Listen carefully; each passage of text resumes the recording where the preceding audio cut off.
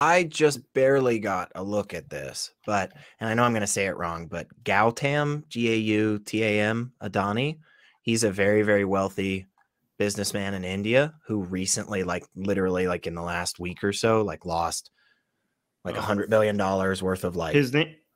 Oh, oh, go ahead. 100 million. How, mu- how much? Like a hundred, a hundred billion. 100 billion. That was Wow. that was from the company's valuation, and then half of his own wealth, which was about fifty billion, that he ended up losing, um, because a Wait, so let me read the question. yeah, what please. do you think about Adani losing his wealth? Mhm. And then what's the who's this other guy? Is Hinden- Hindenburg is the is the organization that did an investigation into him. Oh. So Hindenburg Mm. is is another uh, uh, um, company Okay. out there, a research a research company that uh, deals with uh, um, stock manipulation and money laundering and so forth. And so they did a Mm. 100 like page report on his company and how they were doing all these terrible things. And so that helped uh, basically just drop, I mean, plummet the value of of the the stock price for these for this company, the Adani Group, um, which are involved in a lot, a lot of things. It's fascinating. Um, So Adani was like um India's richest man, I'm assuming. yeah, I think and I think so. he lost a lot of his wealth because Hindenburg did a hit piece on them. Is that what is happening? Um, yeah, kind of. Yeah, yeah. Seemed like it seemed like it was an investigative, like research thing hmm that has been labeling, you know, Mm. various fraud or crimes that this company has been And part then the in. question is, what do you think about of Indians getting nationalistic over a billionaire? So, this is- this is- are- this is a really interesting aspect of it too because apparently there's been some decent tie between this individual and his companies and the Modi government and Mm. there's been some connections in the sense of you know a lot of the things that um, his company is very focused on also happen to coincide pretty well with m- the Modi government's policies agendas.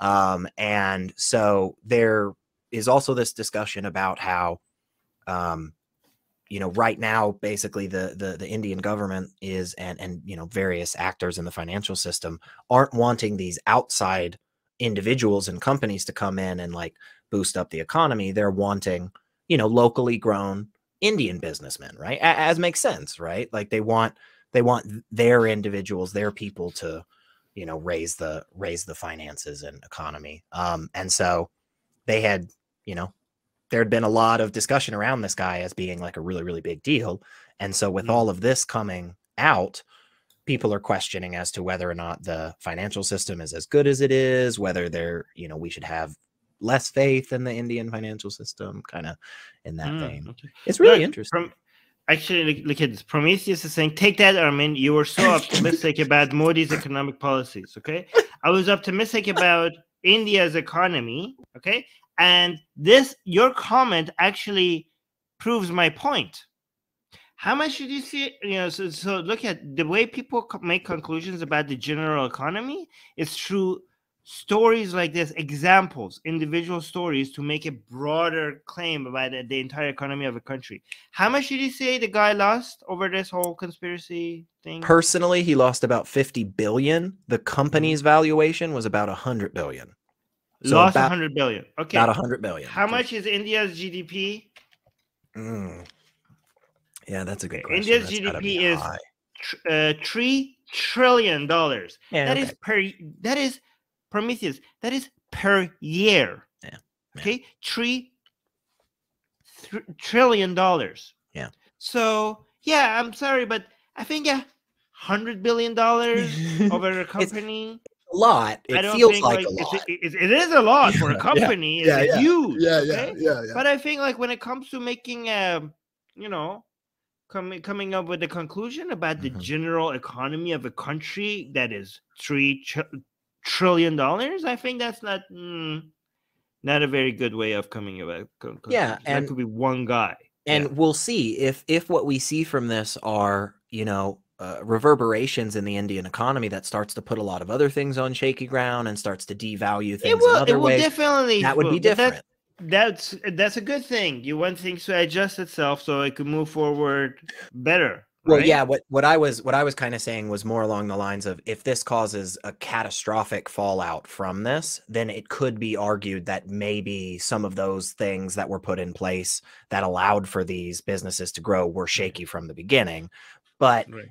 but uh, like we we didn't end up seeing as big of a um um you know a shake in the Chinese economy with the um what was it Evergrande or uh, um Yes. the whole yes. real estate and stuff like that hasn't Or- shaken or out as badly as we thought so this is not, for example, this is not as bad as the 2008 um, No. market crash in United States, right? Yeah.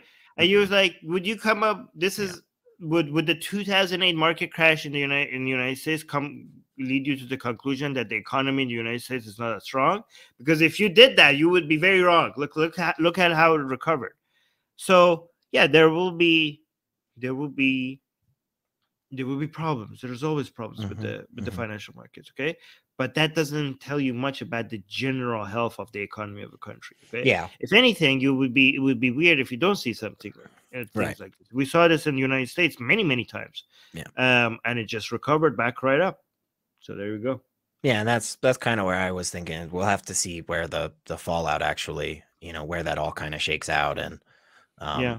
It says, but if he defaults on his loans, uh, people have to pay billions to cover it because he was given billions of dollars from government banks. Yeah, again, this will be a crash in the markets, and uh, the, you know, this is you know the financial markets. What they do and what the economy does is these are just uh, little, you know, drops on a graph that, and the general trend is uh, going up and up. So Yeah. when you zoom in, you're gonna see like boop, coming down, but when you zoom out, like okay, this whole thing is going up, up, up. Okay, so that's how And- it works. and again he still you know theoretically is is is valued at about 50 billion dollars in his personal wealth meaning that if the government of india ultimately goes through some you know legal processes to try and find him guilty for something like fraud or tax evasion or insert thing here well they could require him to pay back that money right and so theoretically yeah again you would see that dip but with the the market and the the law in place that actually does the right thing right well we'll see that increase again like we've seen with cryptocurrency right the first time somebody stole a bunch of crypto years ago like yeah you saw stuff get devalued for a bit but then right after that was corrected and more safeguards were put in place boom it went right back up again even higher so Yeah, and in fact, maybe you this is what you need for your economy to get Yeah. healthier. Maybe this is a good thing that ultimately causes the indian you know um, economy to just boom because now people are are putting more safeguards in place And But- you know, n- not just market corrections, uh, oh, r- recessions. So this Mhm, is like mhm. this is far far less destructive than recession, like a full on Yeah. recession, right? But this is just a market correct. This would be something like a market correction, right? But even recessions are actually good and necessary for the economy. So people are like, oh, our economy is doing wrong, bad. Look at the recession, but like, you actually need that. You actually need that once every seven to ten years. Mhm. You know, so if you don't have recessions, the whole process of Darwinism to the market is not going to happen. It's not going to. It's not going to go through the pro- your um, process of cleaning waste. Mm. You know.